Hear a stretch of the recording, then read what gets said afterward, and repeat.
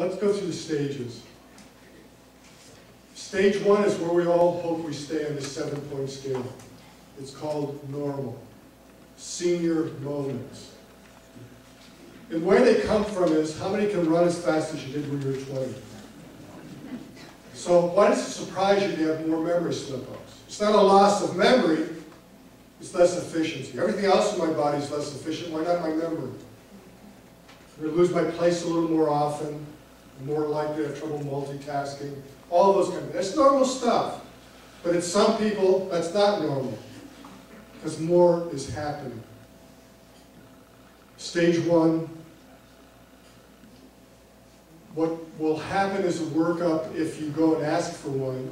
If you got your brain pictured, like if I went and got an MRI of my brain, my brain is shrunk compared to when I was 20. So shrinkage is normal.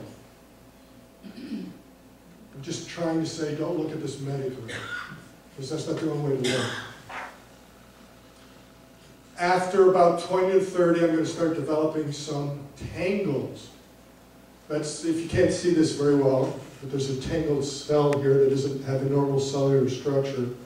As the cell, skeleton kind of breaks down and gets twisted, it's called a tangle. Yes, that's the pathology of Alzheimer's disease. Yes, we'll all get some tangles. That doesn't mean we're going to get demented. Now, none of you have to deal with this, but I do. I'm over 50. There's gummy deposits that build up called plaques. And those that follow Alzheimer's know those amyloid, amyloid and tau proteins. They develop in all of us at some point in time. So how do you diagnose Alzheimer's disease pathologically? The density, not the existence of, but the density of. And yes, you can have very dense plaques and tangles on autopsy, because the studies have been done, and not have clinical Alzheimer's disease. So it's a very tricky thing. And, you know, theoretically, just a side note, the treatment strategy has been, especially research-wise, to try and develop amyloid busters, so to speak. The furthest of those drugs that got into clinical trials was the Lilly drug, and I don't remember the name of it, but it was the Lilly drug. What was the outcome of that particular clinical trial? They shut it down. Why? Because it worked. They took away the amyloid plaques. Now, if this is really causing the problems, what should have happened when they got rid of the plaques? You get better, but what happened? Got worse.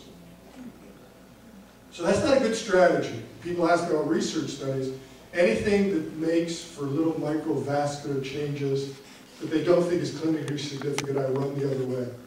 I want my neurons to stay like they are until they prove that taking something out helps, because this convinced me it's a little more scary than I was expecting. So therefore, at this point in time, what we diagnose Alzheimer's disease is an accumulation of plaques and tangles.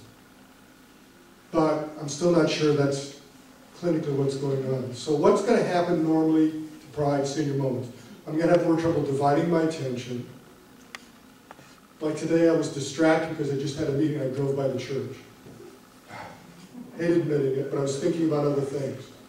And I was thinking about being on time. And then when I missed the church, it's kind of like, oh, now I'm going to be late. Which makes me, of course, multitask even worse.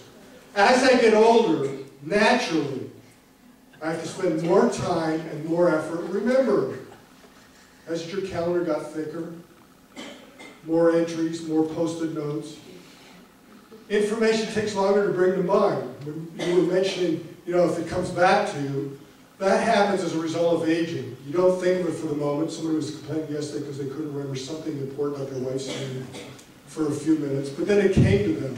It scared them, but it was not critical. It's what normally happens as your brain gets older. It blocks, especially on nouns.